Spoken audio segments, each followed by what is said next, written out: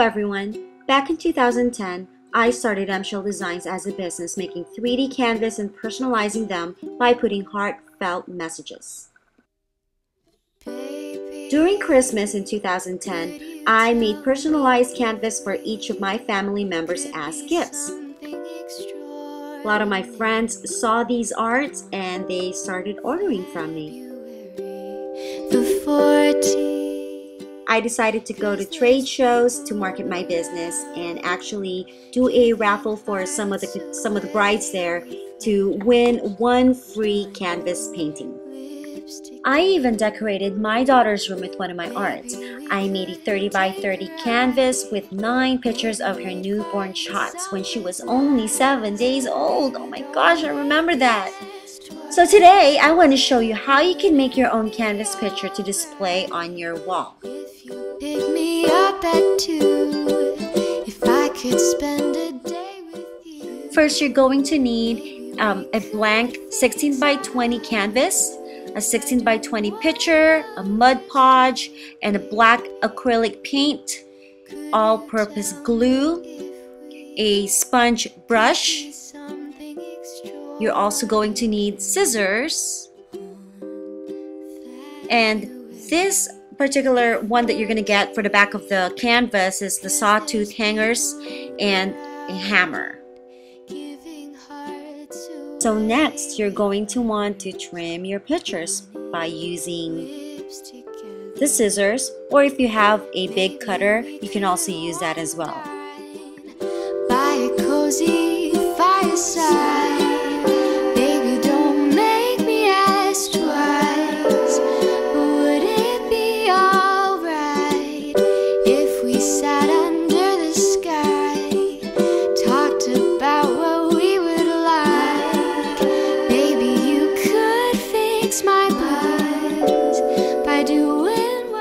If you prefer to have rounded corners, you can do that as well. So next, you're going to need a black acrylic paint because you're going to paint the sides of the canvas. Make sure to shake it and paint away.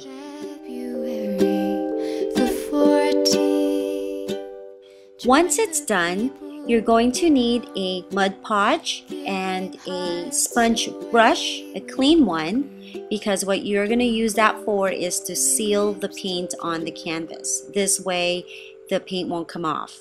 And don't worry about those white um, Mod Podge that you see, it's going to dry up.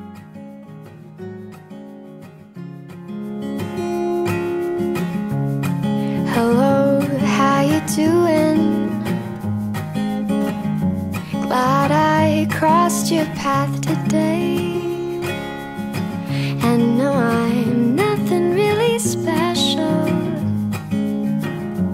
But I've got a lot to say.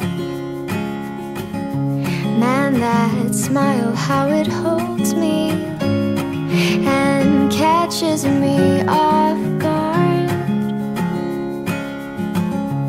And that voice. One thing I use is the blow dryer for the hair to blow dry the canvas so the paint and the Mod Podge could dry up a little faster. So for this project, that's what I did because I want to speed things up a little bit.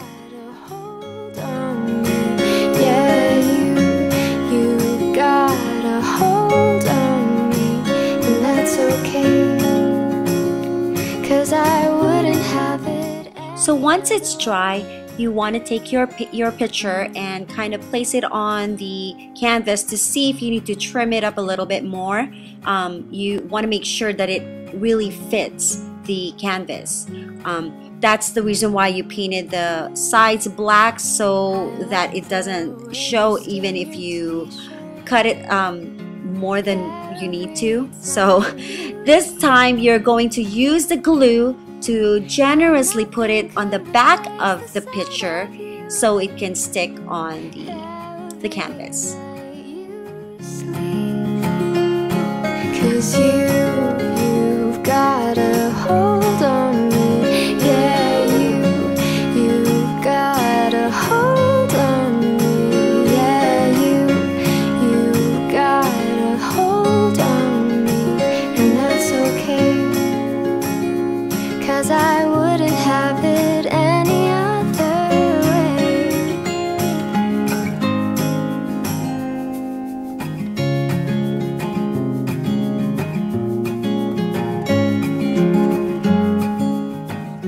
So set aside the picture, get the Mod Podge and the brush and spread the Mod Podge all over the canvas. This is going to act as a glue for your picture.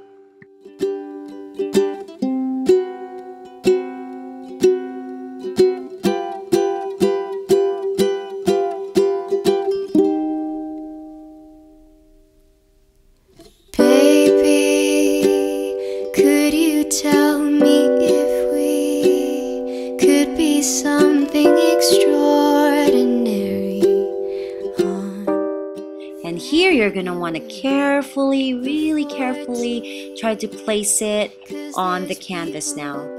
And you see those white stuff on the side. Like I said, don't worry about them. They're going to dry up. And you want to make sure that you don't put any glue on the picture because it will leave a mark. In this case, I, I, I actually did leave a little bit of those.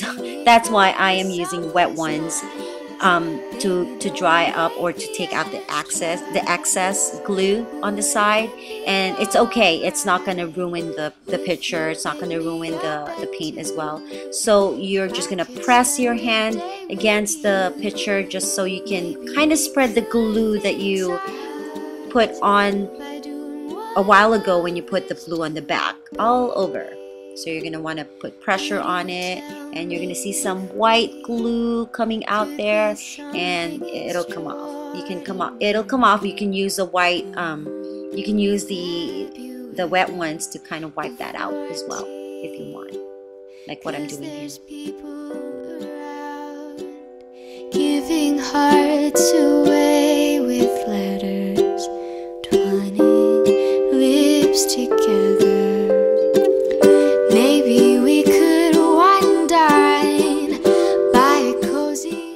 once you're done, you're going to want to turn it over and make sure on the top, on the back top of your canvas, you are going to use the uh, sawtooth hangers and I use the large one for this canvas and it comes with two small nails and make sure to place it in the middle.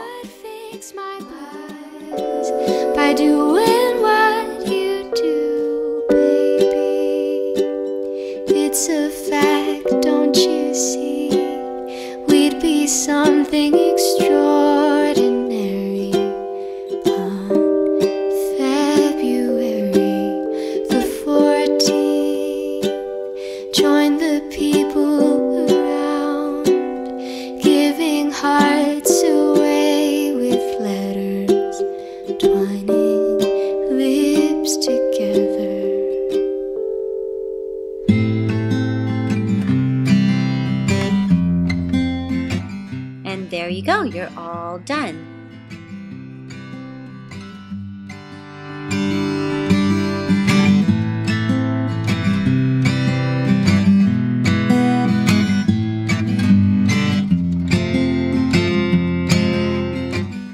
I went ahead and tried hanging it up on the wall last night. I like it, but I wanted to take it up to the next step.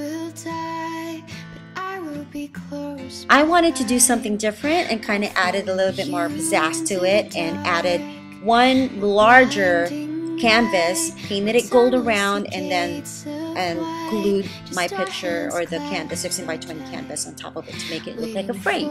There you go.